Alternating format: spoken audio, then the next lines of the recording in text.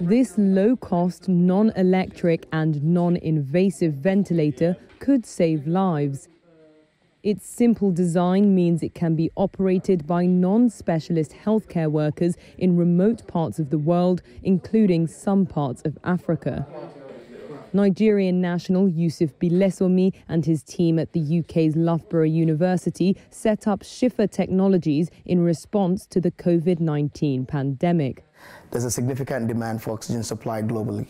Um, uh, and a, when you have a system that requires less oxygen, it makes it much more efficient uh, for hospitals to run. For example, in Lagos, uh, there's a demand of uh, 15 uh, LPM of oxygen, um, and that requires about 300 cylinders on a daily basis.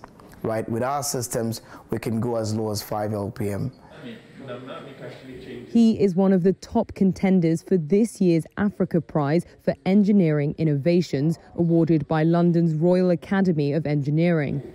The shortlist recognizes African innovators who are transforming their communities and gives each of them business support to help them grow.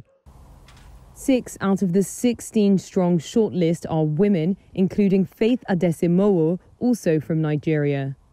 Adesemowo has developed Social Lender, a digital platform that provides access to financial services for those without a bank account or smartphone based on their social reputation.